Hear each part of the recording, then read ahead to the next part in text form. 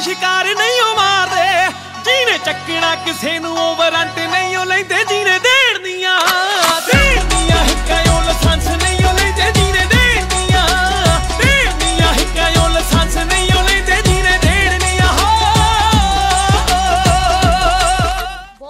ਘੱਟ ਕਲਾਕਾਰ ਪੰਜਾਬੀ ਇੰਡਸਟਰੀ ਵਿੱਚ ਇਦਾਂ ਦੇ ਹੁੰਦੇ ਨੇ ਜਿਨ੍ਹਾਂ ਦੇ ਕੱਲਾ ਗੀਤ ਨਹੀਂ ਚੱਲਦਾ, ਬਲਕਿ ਨੋਟਾਂ ਵਾਂਗੂ ਨਾਮ ਵੀ ਚੱਲਦੇ ਨੇ, ਜੋ ਆਪਣੀ ਸ਼ਖਸੀਅਤ ਤੇ ਕੰਮ ਨਾਲ ਰੋ ਪਾ ਕੇ ਰੱਖਦੇ ਨੇ। ਕਹਿੰਦੇ, ਜੱਟ ਦਾ ਮੁਕਾਬਲਾ 10 ਮੈਨੂੰ ਕਿੱਥੇ ਹੈ? ਆਪਣੀ ਕਹੀ ਇਸ ਗੱਲ ਨੂੰ ਸਾਬਿਤ ਕੀਤਾ ਹੈ, ਬਤੌਰ ਗੀਤਕਾਰ ਸ਼ੁਰੂਆਤ ਕਰ ਦਮਦਾਰ, ਗਾਇਕ ਬਣੇ ਤੇ ਮੂਸੇ ਪਿੰਡ ਤੋਂ ਪੂਰੀ ਦੁਨੀਆ ਵਿੱਚ ਆਪਣਾ ਨਾਮ ਕਰਨ ਵਾਲੇ ਸਿੱਧੂ ਮੂਸੇਵਾਲੇ ਨੇ।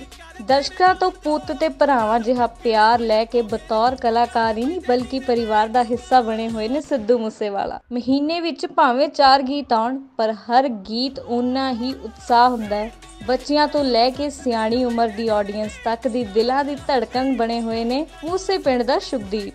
ਦਰਸ਼ਕਾਂ ਤੋਂ ਇਲਾਵਾ ਬਾਲੀਵੁੱਡ ਤੋਂ ਲੈ ਕੇ ਹਾਲੀਵੁੱਡ ਤੱਕ ਸੁਪਰਸਟਾਰ ਕਹੇ ਜਾਣ ਵਾਲੇ ਕਲਾਕਾਰ ਵੀ ਮੂਸੇਵਾਲੇ ਦੇ ਫੈਨ ਨੇ। ਤੇ ਸਿੱਧੂ ਦਾ ਨਵਾਂ ਗਾਣਾ ਆਉਣਾ ਫੈਨਸ ਲਈ ਕਿਸੇ ਤਿਹਾਰ ਤੋਂ ਘੱਟ ਨਹੀਂ ਹੁੰਦਾ। ਰਿਕਾਰਡਡ ਗਾਣੇ ਹੋਣ ਜਾਂ ਲਾਈਵ ਸ਼ੋਜ਼ ਦੀ ਦਿਲ ਜਿੱਤਣ ਦਾ ਕੋਈ ਵੀ ਮੌਕਾ ਨਹੀਂ ਛੱਡਦੇ ਸਿੱਧੂ। ਐਵੇਂ ਤਾਂ ਨਹੀਂ ਕਹਿੰਦੇ ਦਿਲ ਦਾ ਨਹੀਂ ਮਾੜਾ ਤੇਰਾ ਸਿੱਧੂ ਮੂਸੇਵਾਲਾ। ਗੂਗਲ ਤੇ ਸਿੱਧੂਜ਼ ਹੋਮ ਲੱਭ ਕੇ ਮੂਸਾ ਪਿੰਡ ਪਹੁੰਚ ਪਹੁੰਚਣ ਵਾਲੇ ਫੈਨਸ ਦੇ ਕਿੱਸੇ ਦੱਸਦੇ ਹੀ ਨਹੀਂ। ਉਹਨਾਂ ਦਾ ਵਰਲਡ ਵਾਈਡ ਕਿੰਨਾ ਸਿੱਕਾ ਚੱਲਦਾ ਹੈ। ਸਿੱਧੂ ਦੇ ਨਵੇਂ ਗਾਣੇ ਦੀ ਉਡੀਕ ਤਿਹਾਰ ਵਾਂਗ ਹੁੰਦੀ ਹੈ। ਤੇ ਹੁਣ ਦਰਸ਼ਕਾਂ ਦਾ ਨਵਾਂ ਤਿਹਾਰ ਆਉਣ ਵਾਲਾ ਹੈ ਕਿਉਂਕਿ ਸਰਪੰਚ ਮੂਸਾ ਪਿੰਡ ਸਿੱਧੂ ਮੂਸੇਵਾਲਾ ਲੈ ਕੇ ਆ ਰਹੇ ਨੇ ਆਪਣਾ ਨਵਾਂ ਗਾਣਾ ਬੈਡ ਸਿੱਧੂ ਦੀ ਕਲਮ ਨਾਲ ਸਜੋਇਆ ਇਹ ਗੀਤ।